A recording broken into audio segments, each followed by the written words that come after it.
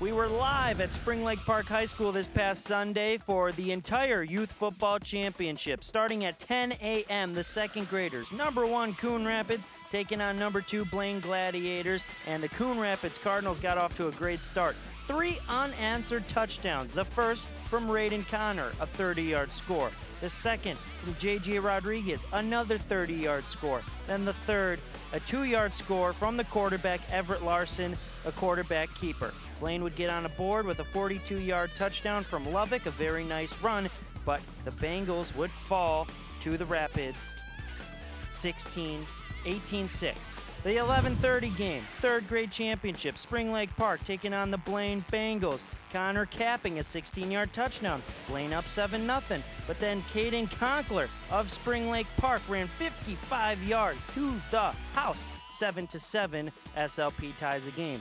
Max Shaughnessy, the quarterback, 60 yard touchdown, ran the entire length of the field because they start on the 20 yard lines in third grade. Then it'd be halftime. Blaine with a 13 7 lead. Caden Conkler, 60 yard touchdown. First start of a drive. Spring Lake Park wins 14 13. Then the fourth grade game. Centennial Storm, the number one seed. The Blaine Hawks, the number two seed, going at it. That would be a thriller of a football game. It would go down to the wire. Second half, Finn underscore scores a touchdown, 7 nothing. A two yard touchdown run.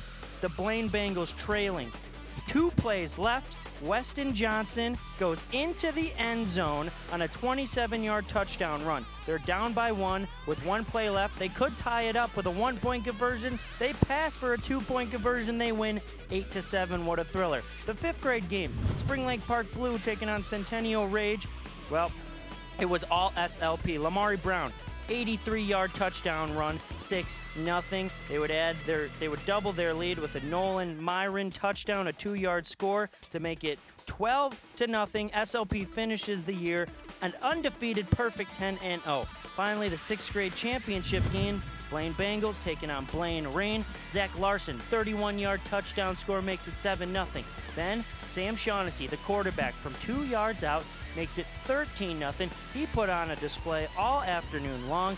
Bengals would add six more from Zach Larson. Again, his second touchdown of the game, a 23 yard strike. Blaine Bengals win 19 0. And that is your 2018 Youth Football Championships on North Metro TV. It was a great day this Sunday.